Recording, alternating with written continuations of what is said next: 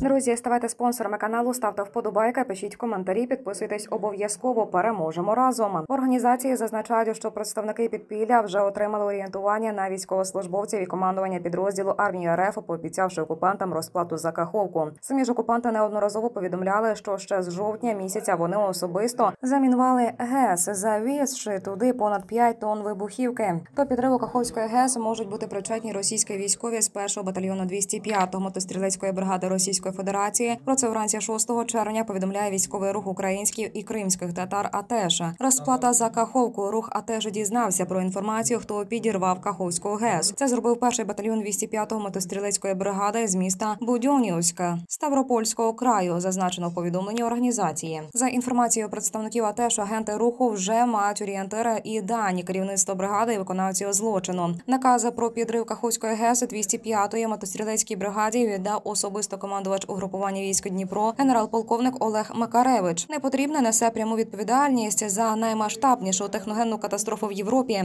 Стратком ЗСУ в той же час пише наступне: те, що окупанти не збираються розвивати окуповані території України, було ясно з перших днів повномасштабної збройної агресії. Проте з наближенням наступу сил оборони України агресор своїми практичними діями вкотре показав терористичну сутність та цинізм. Сьогодні вночі через свій страх перед українською армією окупанти підірвали Каховську ГЕС.